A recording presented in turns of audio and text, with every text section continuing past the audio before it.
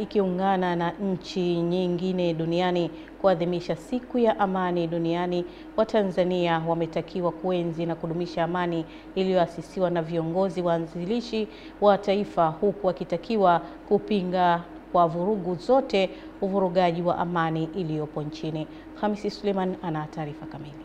Wito huo umetolewa na baadhi ya makundi ya vijana wanaharakati wa amani, lakini pia makundi ya wafanyabiashara dogo maarufu machinga jijini Dar es Salaam.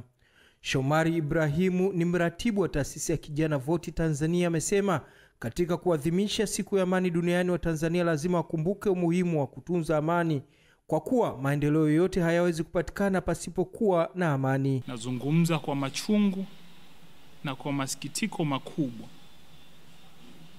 ndugu vijana wenzangu, hasa sisi tunaopenda siasa, hasa sisi tunaopenda mikusanyiko, hasa sisi tunaopenda maandamano, kwa mapenzi yetu haya haya ya kupenda mikusanyiko, basi mikusanyiko tunayoipenda ni ile ya amani. Aidha, makamu mwenyekiti wa Machinga Taifa ambaye pia ni mwenyekiti wa Machinga eneo la Kariakoo, Steven Lusinde amewataka Machinga wote kuendelea na biashara zao kama kawaida na kupinga dhana ya maandamano kwa kuwa hayana tija kwao wala kwa taifa. Sisi kama wafanyabiashara wadogo maarufu kama Machinga, nchi nzima, Tanzania nzima, hatuko tayari kuunga mkono maandamano hayo ambayo yameratibiwa na baadhi ya vyama vya kisiasa Tanzania.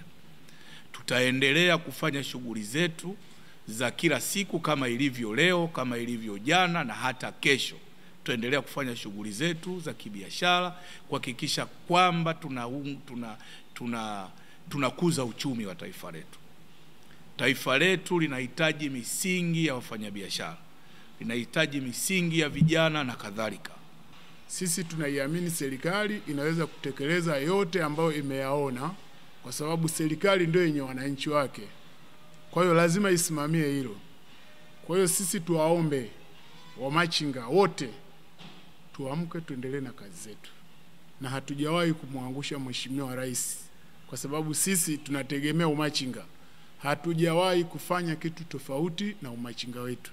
Kwa hiyo wanapotokea watu ambao wanahamasisha maandamano, tutambue kabisa sisi hatupo upande wao, na Mheshimiwa Rais anatakiwa ajue kwamba katika nchi hii kila sehemu kuna vyama vingi vya wamachinga wako wanaendelea na shughuli nzuri tu, na aliyefanya kazi hii ni yeye, kwamba wamachinga wanafanya kazi kwa amani. Kwa hiyo sidhani kama kuna machinga yoyote atatokea akaenda kufanya maandamano akaacha biashara, ni kitu ambacho hakiwezekani. Leo hii ni lipi utatudanganya sisi tukakae kwenye barabara tunaandamana kwa ajili ya kuvunja heshima heshima ya nchi yetu na amani ya nchi yetu? Amani hii imejengwa kwa nguvu kubwa, kwa akili nyingi na wazee wetu. Leo hii watokee watu fulani wa kikundi fulani wa desturi fulani waliojipanga kwa ajili ya kuchafua amani hii, hatutakubali kamwe. Hamisi Suleiman, Channel 10, Dar es Salaam. Shukran Hamisi Suleiman. Wananchi